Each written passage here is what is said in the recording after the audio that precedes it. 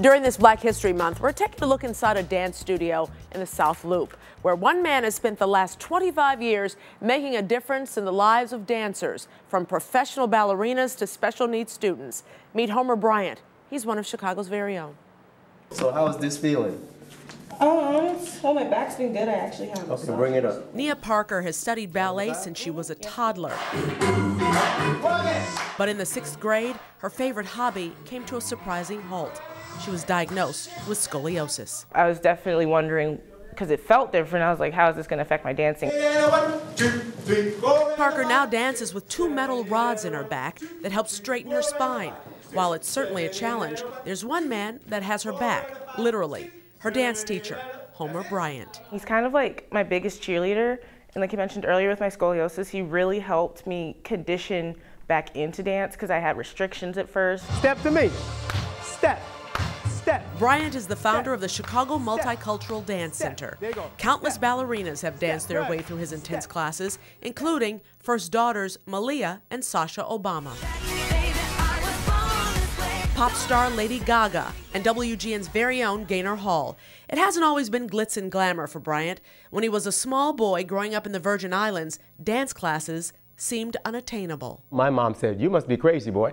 We can't afford dance lessons. But my friend, his mama, decided to pay for my first six months of dance lessons. So the rest is history. When he was a teenager, Bryant moved to New York to pursue a professional dancing career. He joined the first African American classical ballet company, Dance Theater of Harlem. He reached a major milestone in the 70s, performing on Broadway. In 1990, his career led him to Chicago, where he started the Chicago Multicultural Dance Center. We've been here now 25 years. Kids and I have performed, well, I keep saying kids, the dancers and I have performed all over. These kids are talented. I mean, you can see that they, they, they can't stop dancing. They cannot stop moving. The school stands out because of its mission to train children with physical disabilities. In the past, we've had several special needs in wheelchairs. It's an issue that hits close to home for Bryant. His daughter Alexandra was born with cerebral palsy. Alexandra lived to be 28 years old.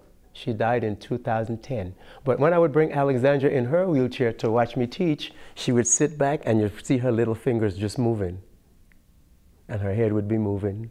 And I would tell the kids, there's a dancer inside of her. so Alexandra was my greatest sorrow, but yes, she was my greatest pride and she was my greatest inspiration. And if students can't afford classes, shoes, or leotards, it's not a problem. Just last Saturday, a little girl came in in her tights. I said, baby, where's your shoes? My mom can't afford shoes. So I went in the back, find some shoes and gave them to her. Breathe. Set.